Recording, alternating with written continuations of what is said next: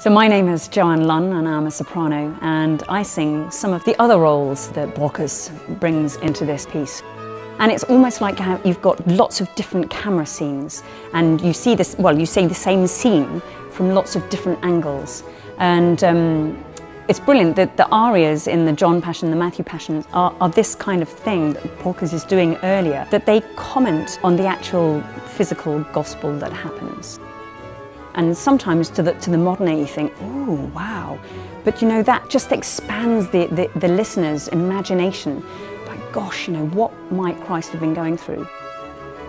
The musicians are absolutely top of their game and so just so brilliant. And, and with Lars Ulrik at the helm, it's absolutely wonderful.